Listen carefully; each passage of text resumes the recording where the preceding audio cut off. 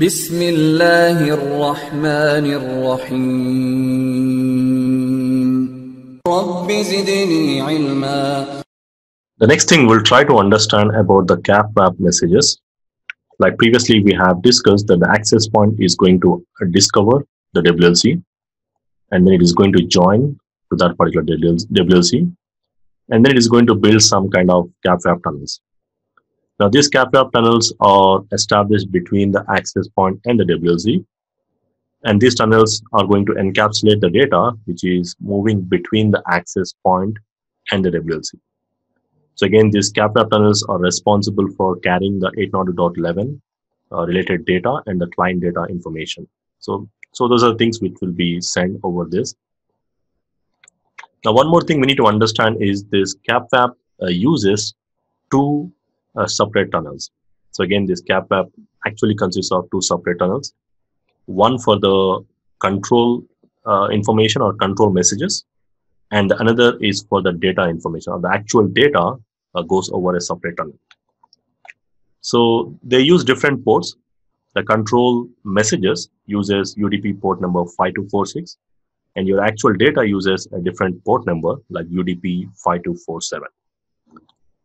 Now let's see what exactly these control messages include. Now control messages includes like the access point uh, configuration, like the WLC is going to configure the access point or any kind of management configuration information.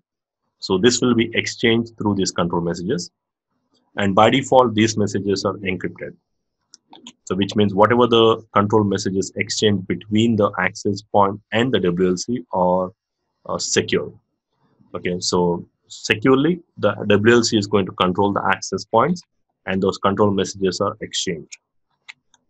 But whereas another tunnel that is your CAPWAP data is used to uh, the CAPWAP data tunnel uses UDP port number 5247.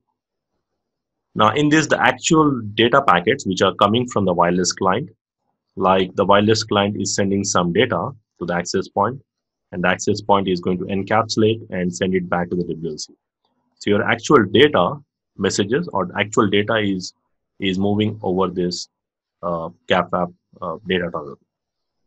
So the packets traveling from the clients to the associate access point to the WLC again. Now, by default, this data is not encrypted unless you apply some kind of encryption mechanism. So your data is not encrypted by default. But if you are using, uh, if you want, you can enable the data encryption uh, that can be enabled on the access point using some DTLS uh, data protection mechanism. Now, these are the two different messages. Like the CAPWAP uses two different tunnels, one for the control messages and one for the actual data uh, being sent from the client to the access point.